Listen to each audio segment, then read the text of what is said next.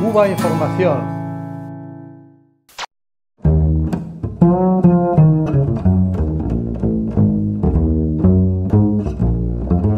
La Fundación Un Mundo Mejor es Posible, que coordina en Argentina desde 2003 varios programas solidarios cubanos de salud y educación, lleva adelante una llamativa campaña.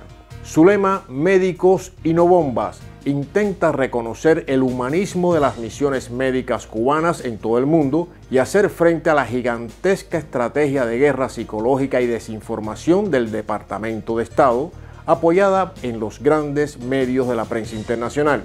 La campaña nos dice que mientras cada día mueren miles de seres humanos por enfermedades prevenibles o curables, Cuba ha realizado en silencio 1.900 millones de consultas médicas, 14 millones de cirugías y 4 millones de partos en 86 países del mundo.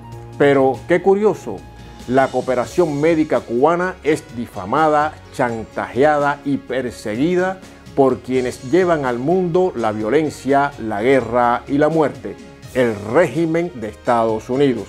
Defendemos y defenderemos las misiones médicas cubanas reclaman desde Argentina por las miles y miles de personas que, gracias a la colaboración cubana, salvaron sus vidas, por el ejemplo que irradia esta isla solidaria. Y nos piden un sencillo gesto, hacer una foto con el cartel de la campaña y mostrar nuestro respaldo. Aquí tienen el nuestro.